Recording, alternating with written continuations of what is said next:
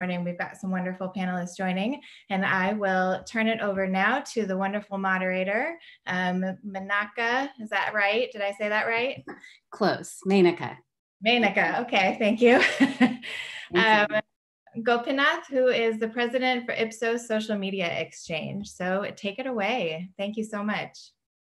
Uh, thanks for having us this morning. Um, we're excited to join you and be part of the Equality Lounge Lions Live. Um, Ipsos is actually a partner of the Female Quotient, and so we're looking forward to talking to you about a lot of the research we've been doing and the topic of the pandemic as well as uh, racial justice.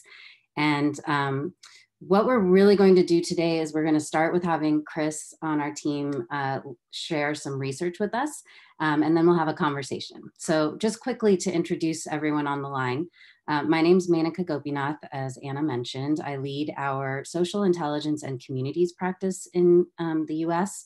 What that means is we are gaining insights through the conversations happening in the online environment. Through social intelligence, we're looking at all of the public conversations happening, which, as everyone knows, is a very rich place to learn about how people are feeling, um, as well as engaging people through online communities to have more um, curated conversations about the experiences people are having, um, especially right now. Um, joining me, I have uh, Chris Jackson, who is a VP on our public affairs team. So Ipsos does a lot of work with media partners, publishing really important research about um, a lot of the topics we'll talk about today um, and I'll let him introduce himself in a bit more depth in a second. Uh, we also have uh, Lindsay Franke, who is um, leads our creative excellence team in the US. Um, she works in our advertising research practice. And then we have April Jeffries, who leads our ethnography practice in um, the qualitative group at Ipsos globally. So I'll let each of them introduce themselves in more detail um, as we jump in. But do you want to start, Chris? Sure. Thank you, Menaka. Um, it's great to be here with everyone. A real privilege. Um, I'm going to start off by really just sort of setting the table for the rest of the panel to sort of discuss a lot of these issues. I lead our public polling practice. I'm a pollster uh, by training, by trade. Uh, we run uh, public opinion research with a lot of news partners, including ABC News, The Washington Post, uh, Thomson Reuters, USA Today, uh, including a number of others. And, and we've been really uh, privileged to be able to drive an agenda that's focused a lot on issues affecting minority populations, particularly with the COVID pandemic and the Black Lives Matter protests that have erupted across the country, uh, we were really one of the first organizations doing research on both topics and have really focused a lot on uh, on so the disparate experiences that that that these communities have uh, have really been sort of living through in this. And I'm going to I want to share a couple of data points here to just sort of underline some of what's happening now to just sort of set the stage for the rest of the group to sort of talk through.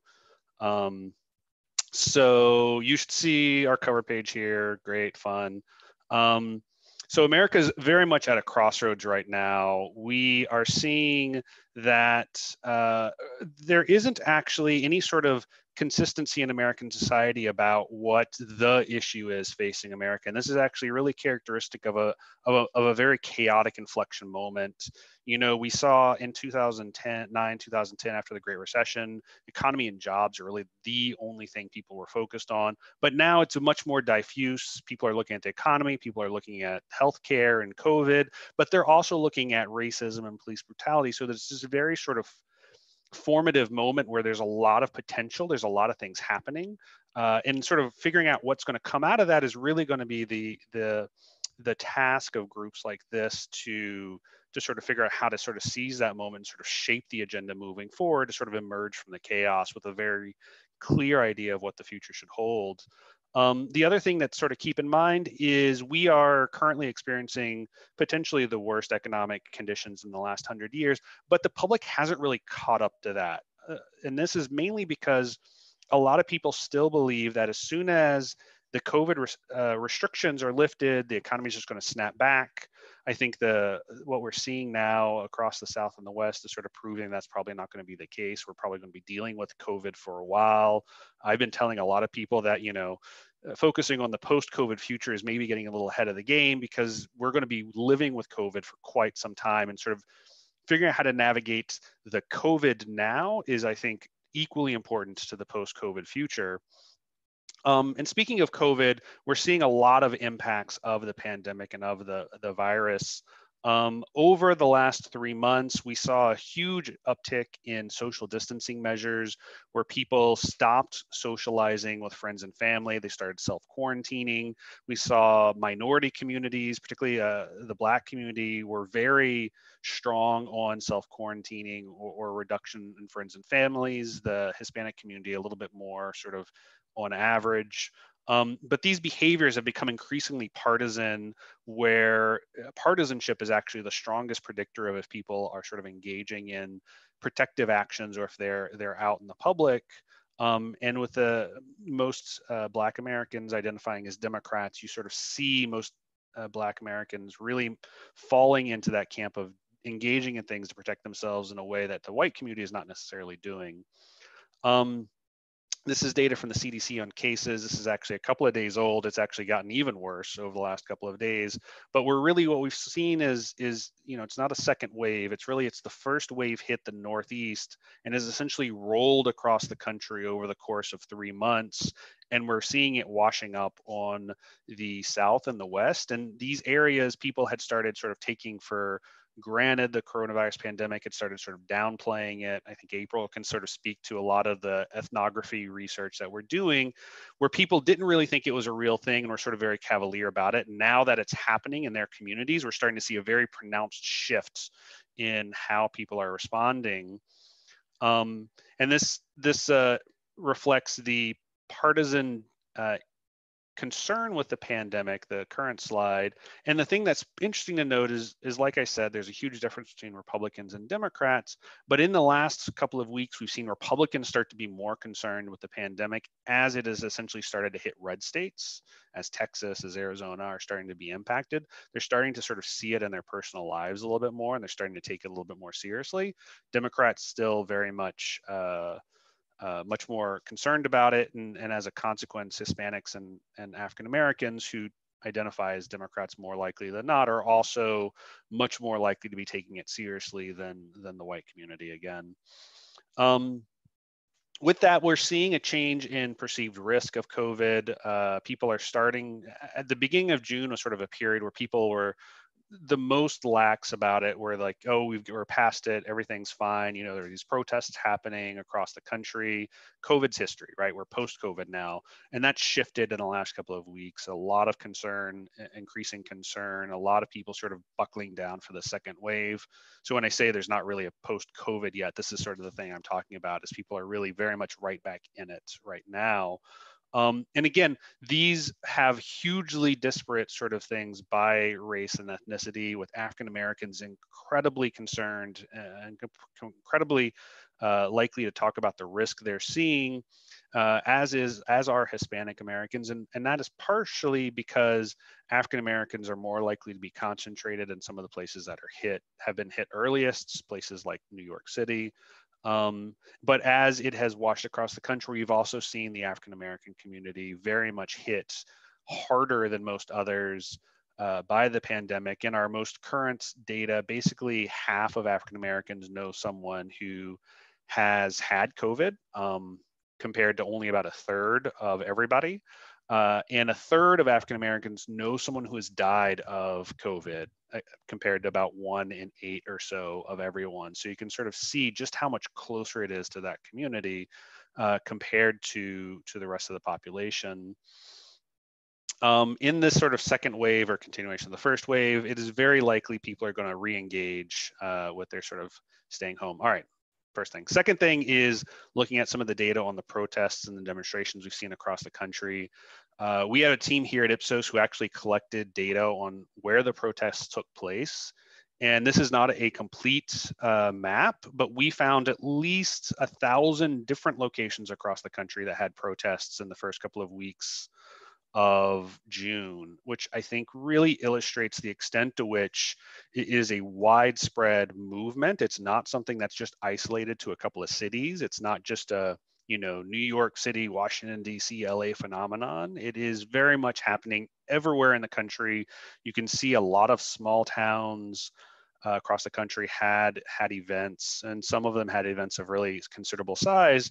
We also as part of this exercise we we actually examined all of the social media we could find on each one of the protests to actually look for evidence of any sort of violence or conflict or destruction of property or altercations with police or anything else especially you know there's so much focus that first week on on sort of these protests being violent we really wanted to try to like put some sort of numbers around it to get a sense of it. And what we found is the vast majority of these protests across the country 84% uh, as of our, our, most recent data were peaceful um, only 16% had any sort of, of violence or property damage. And those were really concentrated in sort of that first week at the end of May and the 1st of June. And since then, it's been 99% uh, peaceful across the country. And remember, the way we sort of categorized it, that violence could have also been protester versus police violence. So it's not necessarily just protesters, you know, engaging in, in random acts, which I think sort of gives good information. This is a national movement. This is something that's happening everywhere. And it is by and large peaceful. It is not something that is contrary to some of the early reportings, violent rioting and looting. Um, it is very much sort of a, a peaceful movement for change.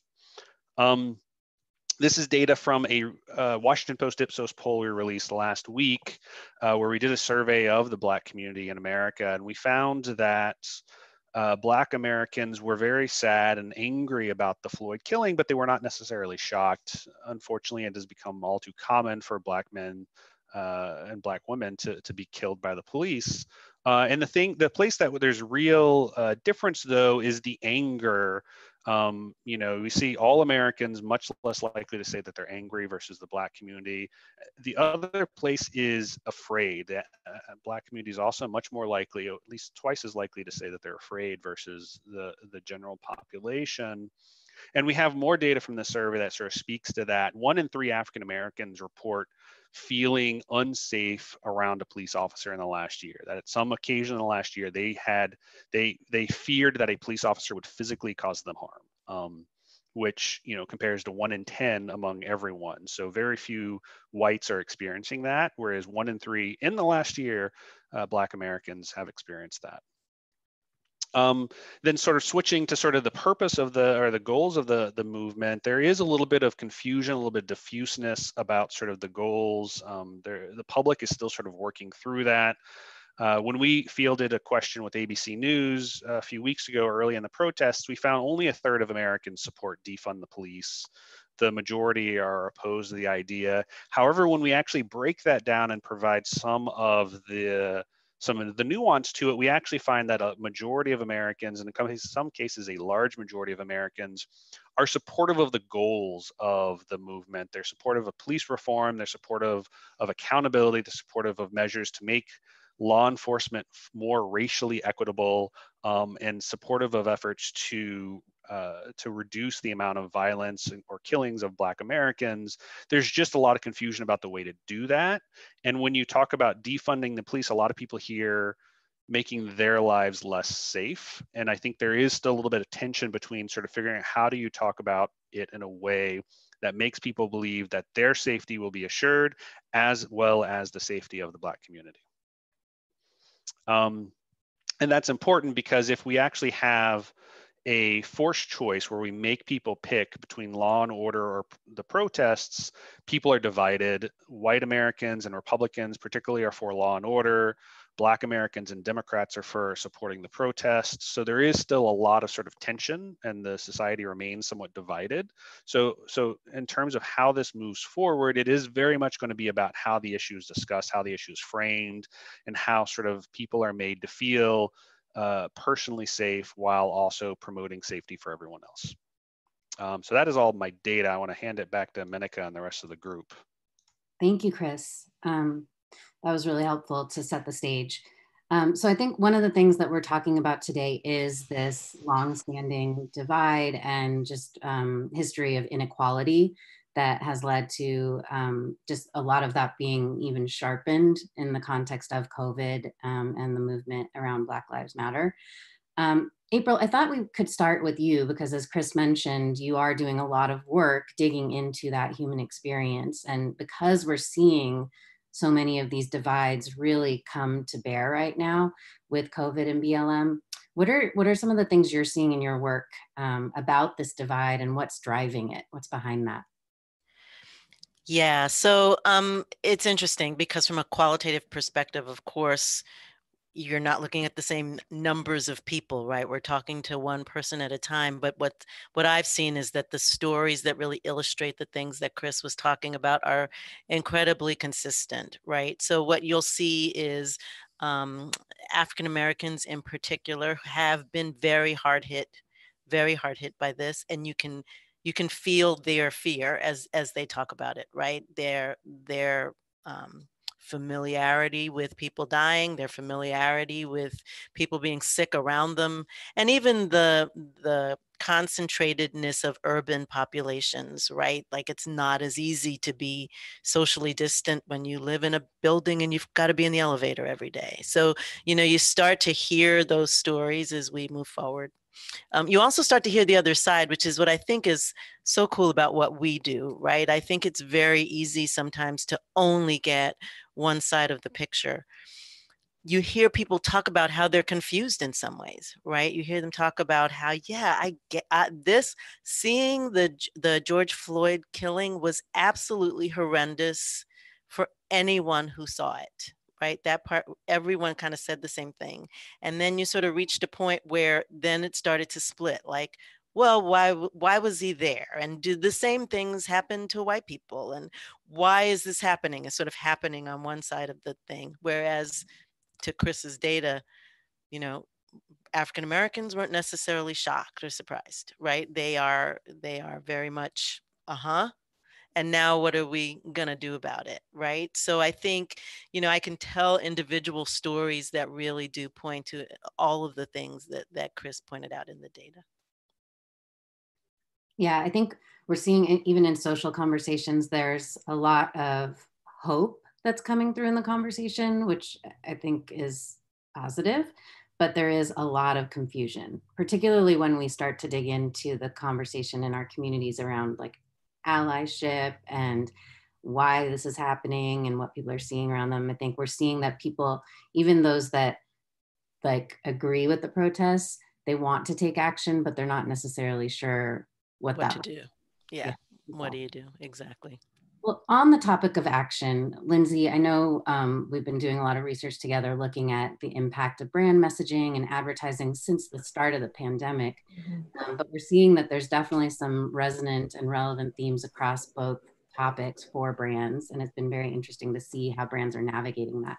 What are some of the key themes that you're seeing in your research that are critical right now for brands to be thinking about?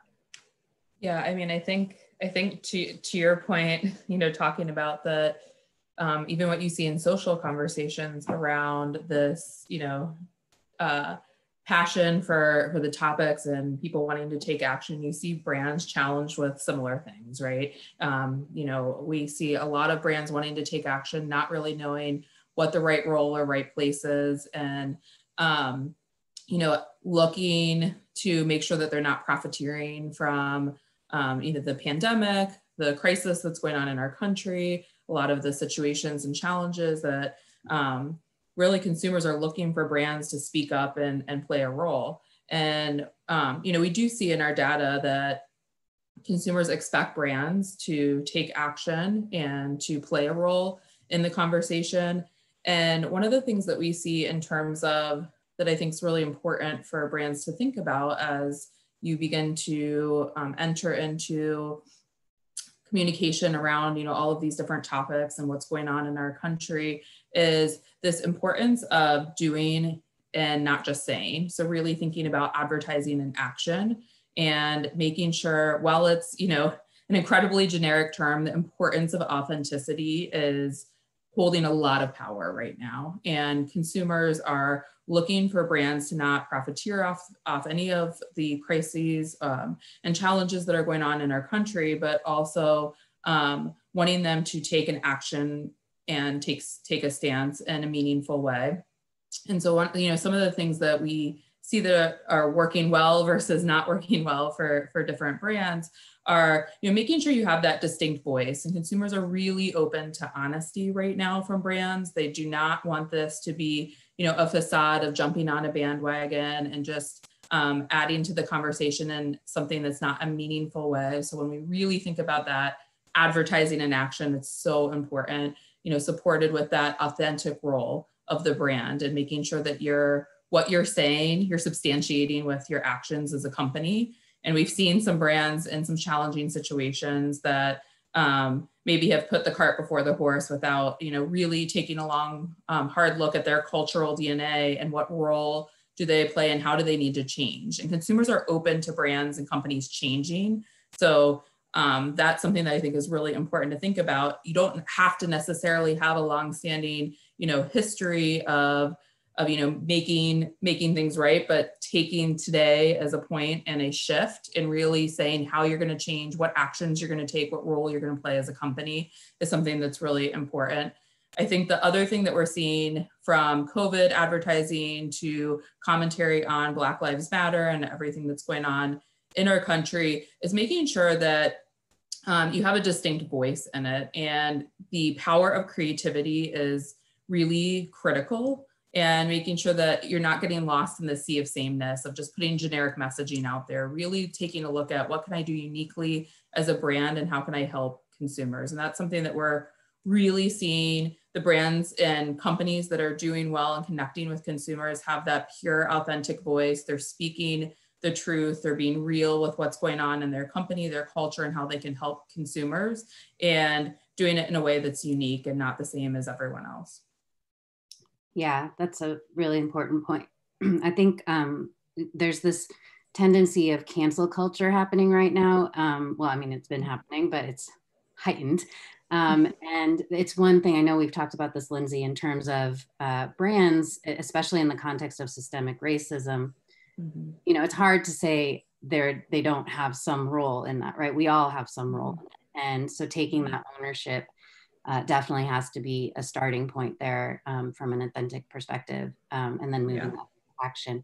But I wanted to dig into the systemic racism point a bit with Chris because I know a lot of the research that you're doing is kind of bringing light to those very clear inequalities, particularly how Black Americans have been experiencing COVID. And we even saw the Surgeon General say that systemic racism actually has led to the higher number of Black Americans um, having issues with COVID. So what are, what are some of the things you're seeing in your research linked to yeah, this? Yeah, I think I think there's a couple of things, and I, I really want to sort of point to three. Um, you know, first and foremost, uh, when the pandemic sort of started and the economy was sort of shut down, African Americans and Hispanic Americans were by far more affected by that than white Americans. You know, the the the unemployment rate for for the entire population jumped up to 15 16 percent in april which is probably an undercount for what the reality is but the the unemployment population for minority communities was at least 10 points higher. So so you had even before the pandemic really sort of kept, kicked into gear a lot of people of color losing sort of their occupations, losing their career, losing their ability to sort of make ends meet. Um, and I don't think you can understate how important that is to sort of everything else that follows, because it's hard to, you know, it's hard to buy protective equipment or, you know, hand sanitizer, everything else if you don't have a paycheck, right? Um, so that's first and foremost. Um, number two, uh, among the people who, among uh, the uh, African American and Hispanic American communities who didn't get laid off, they are much more likely to have occupations that required them to still go out into the world and expose themselves essentially to the risk of being infected. Uh, you know, there was there's very much sort of a uh, when the pandemic sort of started, there were sort of three things that happened to sort of the economy. People who were sort of affluent, who occupied knowledge economy positions essentially all went and worked from home. You know, probably most of the people on this call uh, were able to do that. And, you know, there's a reality that that is um, white people are overrepresented right now in sort of that knowledge economy community, whereas people of color tend to be much more uh, overrepresented in sort of uh, you know sort of service economy jobs which were the ones that were much more likely to be affected. So those were the ones who were either laid off or were forced to sort of go out to sort of keep making uh, keep getting their paycheck go out and sort of expose themselves to the pandemic. Um, so that's the second thing. And then the third thing is i think as a consequence of that uh, the black community was one of the ones that was hit the first and the hardest by the pandemic.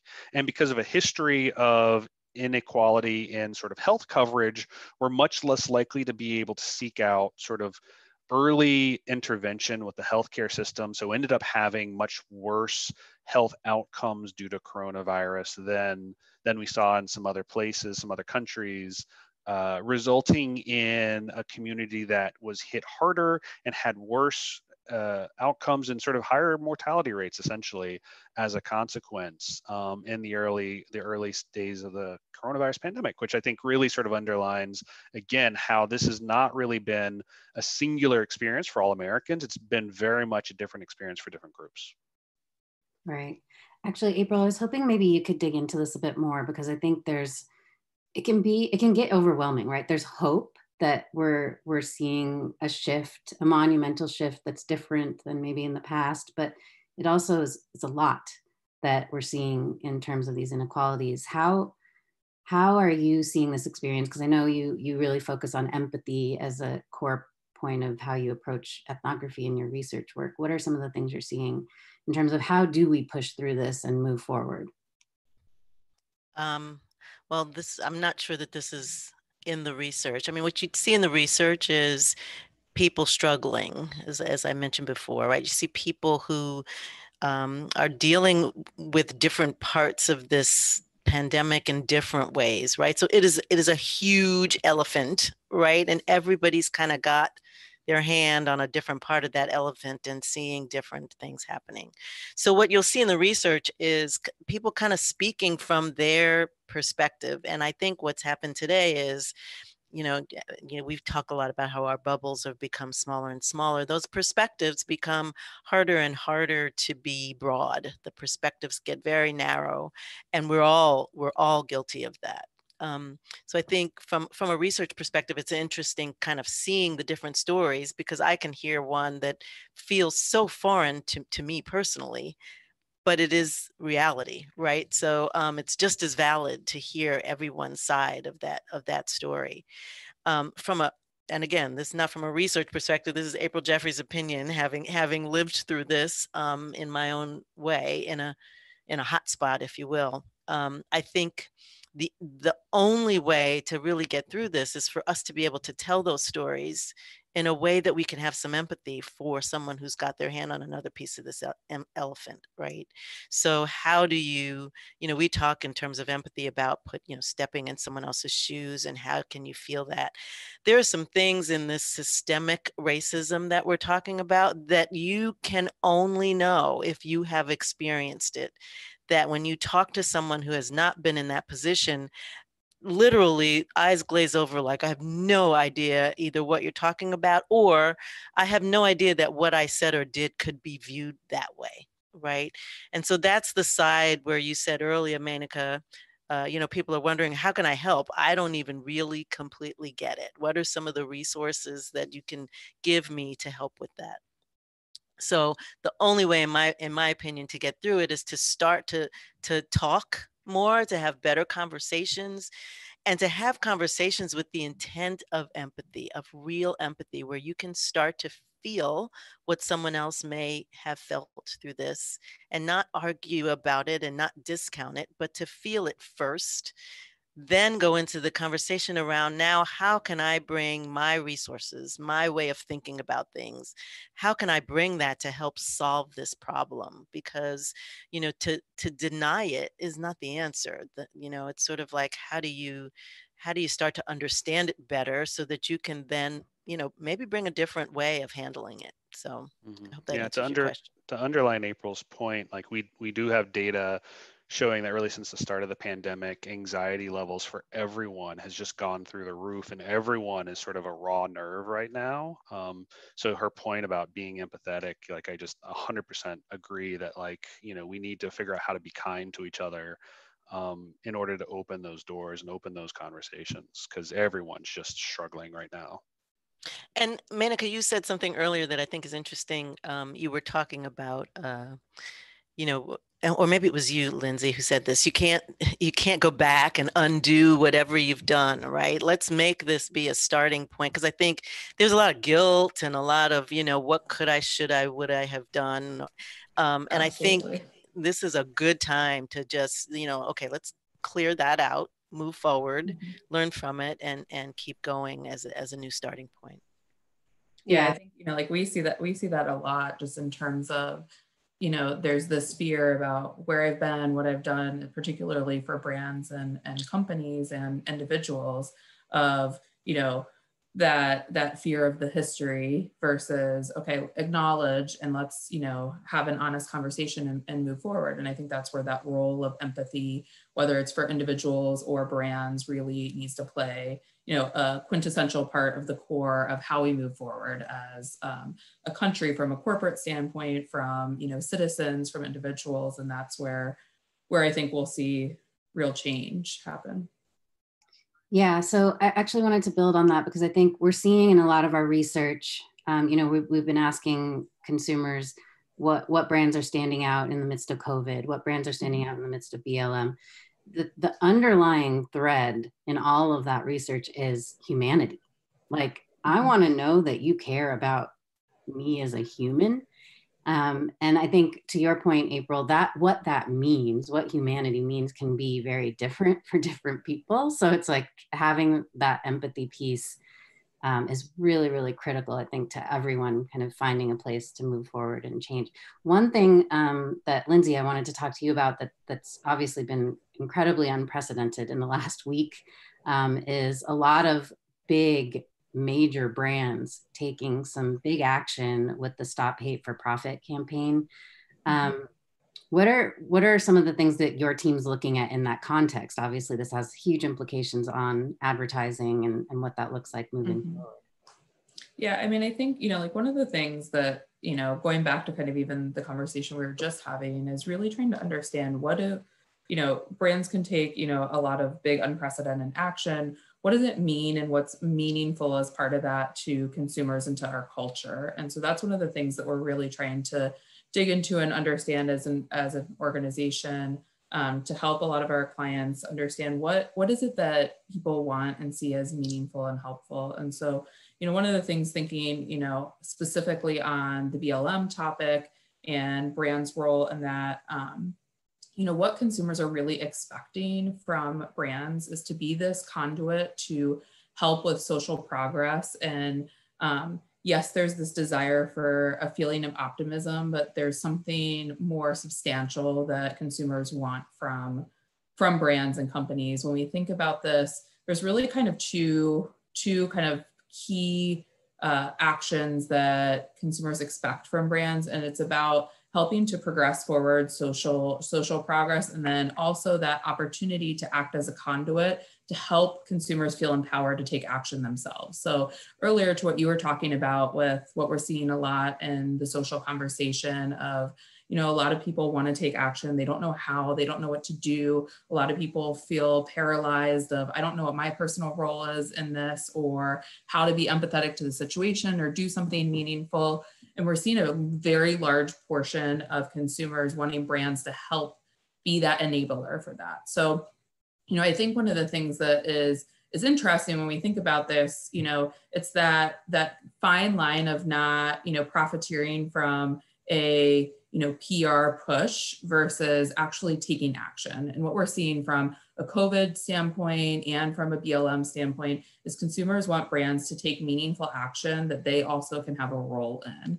And you know, you see whether it's from you know our pub- public affairs polling, from social conversation, from some of the data that we've collected specifically around brands and advertising, is that action and authenticity are the foundation of everything. And so it's really being authentic and empathetic with the right voice and figuring out what that action is. And it can be small things, whether it's from, um, you know, supporting education, taking very small, clear steps to change your organization and or um, making a connection with your consumers or customers in a way to help them do something meaningful. And those are the things where, you know, we've seen a, a lot of conversation and change in the advertising world specifically, but those are the things that matter the most and that consumers see are really going to change the way they feel and interact with brands. And we do see that um, the brands that do this the best, um, consumers are are saying they're going to be more loyal. They're going to really engage with these brands brands more, but it it has to be done in a pure and true way. Hey, Lindsay, can I ask you a question? Mhm. Is is there have you ever seen um, any kind of risk or backlash to that? I mean, to the extent that you support one thing, given what Chris showed, you can Yeah. definitely not be supporting something else, right? So have you seen backlash from it? Yeah, you know, like there's there's definitely been been a lot of backlash, particularly I think, you know, when there's that that view that there's profiteering from it. Um, as well as you know there there is a divide i think you know we see that about 60% of people want brands talking about social um, justice issues. And there's 40 you know almost 40% that don't. And so there's there's a pretty clear divide. There's not a lot of people that are very neutral. And so i think you know a big part of it is understanding um, you know what that divide is and what it really means for the brand and what kind of company you know a a brand wants to be and, and what's important for that. So when you when you think about you know some of the backlash that um, some of the different brands brands have received it it kind of goes on the spectrum of whether it's like political agreement with a stance that's being taken or you know calling calling a company out that they're not really um, practicing what they preach. So a, a big thing that we've talked a lot about with our clients is is that essential part of you know preaching what you practice. So making sure that you have the practices in place as an organization and that whatever you're speaking about re- regardless of side that it's part of your your cultural dna a big part that we also see in terms of kind of the divide in um, consumers opinions around brands speaking on these different topics is you know there's definitely a location from a geographic standpoint difference. We see this is a very you know heavy um, younger consumer millennial push of expectation of brands speaking up. And when you think about the longevity of the life of a consumer it's important to make sure you're connecting with your young consumers. They really care about this and it's something that i think is is important. We also see that it's a much more uh, you know a metropolitan push when you look at consumers particularly april as you've seen when you speak to consumers from different experiences there's you know a lot more passion for you know covid for um, blm coming from major metropolitan areas probably due to um, personal experience. And so i think you know a big part of what we see is is there's this opportunity for continued education from brands to help with some of that backlash and really making sure that whatever they're speaking on that consumers understand where they're coming from and why they're why they're taking a stance or speaking on a specific topic because there is a disparity in terms of not only desire for agreement or speaking on a topic but also understanding of it as well And if I may provide just a little bit of a different lens, one of the reasons I think we're seeing so many people looking to companies and brands to be leaders on this issue is because they've lost faith in the government to do it. Um, You know, Americans' trust in the government, the federal government is at something close to an all time low. Uh, through the pandemic, it's been dropping. And yet at the same time, trust in, uh, in employers, and brands, and public health officials have stayed stable and relatively high. So really people are sort of looking to the private sector to lead here because they don't know who else can do it, right? So it's sort of a Mhm. it's a mantle that has been put on the the private sector that maybe they didn't want, but now they've got it and have to figure out how to how to use it well. Yeah, I think that brings me that to a lot of brand trust, like brand trust remaining pretty stable throughout this from a standpoint. Sorry, that brings me to my last question because we have about five minutes. But Chris, um, you know, obviously action, a lot of the action that we're seeing people talking about right now is voting. Mm-hmm. Um, and you know, there's primaries today in a few states. The, a lot of people in social, we're seeing a ton of people talking about November. That's coming through in a lot of our community conversations as well. Um, especially to your earlier point that the post-COVID world feels like when is that even possible? Um, yeah, more than it did. You know, I remember when it was just like, let's bake bread and we'll get through this. And however, right. yeah, how long is this going to last? So knowing that and knowing that the, the election coming up in November is a big piece of, of how action could play a big role in our future. What are some of the things you're seeing as I know you are obviously polling a lot in the upcoming elections? What are some of the issues that are on Americans' minds right now? Um, yeah, thank you. Uh, so of course it's it's the pandemic, it's COVID, um, and the economy uh, as a consequence of the COVID pandemic. But one of the things we've been seeing over the last couple of weeks emerging as an issue that is new and kind of different, and something that uh, makes me at least a little bit hopeful, is there's actually a lot of focus of Americans right now on the idea of reestablishing trust or reestablishing functional government. Um, that was something that was just sort of a, an also ran type topic four, five, six months ago. Like nobody really cared about it so much. But in the last couple of weeks, uh, that has become the number one issue when we give people a list of things that like what's the main thing affecting their vote the idea of having sort of trusted established reliable government is now become sort of the plurality thing so it's interesting because it really has sort of there's been the pandemic the economy the protest, all of them together have really sort of crystallized for a lot of people how, you know what, we can't necessarily just have a, you know, a government that is about sort of cleaning out the swamp, whatever that means. We do need a functional government that can actually deliver in times of crisis. And that's what sort of people are looking to right now. Um, you know, and, and among people who have that as their priority set, they support Biden sort of two to one. Got it. You can't give us any predictions though, right? Because I mean, I can, but you know, all predictions wrong or your money back. Um, no, right. If the election were held today, uh, Biden would probably win. Uh, that being said, you know, it's four months until election day, and this has been the craziest year in the last century. So I'm pretty positive something else insane is going to happen that may scramble everything. Yeah. yeah. That's an understatement about 2020, right? Mm-hmm. I heard someone say 2020 is hind, hindsight is 2020 was probably someone from the future. Yeah. 2020. um, all right. Well, I think we just have a couple minutes. I thought just to to conclude, um, maybe each of you can just give a very quick uh, thought on um, how the work that we're doing is helping our clients take action because action seems to be the biggest thing that is going to push us forward that's going to create meaningful change um, how can brands be using data and insights better and, and what does that look like from your perspective? April you want to start? Yeah so i think i think the best thing you can do right now is tell the human story. Tell the story because it's the only way people can really step into someone else's uh, you know what it is they're going through.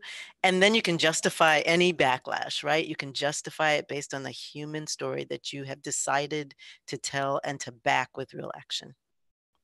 That's great. Lindsay yeah i mean i think it's again it's it's just really understanding what not only the human story is but you know your consumers perceptions and and really understanding the nuance even of language right now. I think that's something that's really important that we're helping um, a lot of our clients with to to understand the way they tell a story and the language they use to make sure that it's really um, connected and empathetic to support that human story that we uh, really look to understand.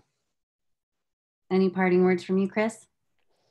Uh, no, I just think that you know understanding the human story, like April said, is is really important, and you know we're really privileged to be able to be researchers because our job is essentially helping people tell their stories, helping give them a voice, helping that voice be heard. So, you know, I think just trying to make sure that we're hearing those stories and sharing them is is you know that's the that's the best thing that we can be doing right now.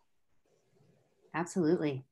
All right. Well, thank you, everyone. I think that's it. And uh, we'll pass it back to Anna. Bye.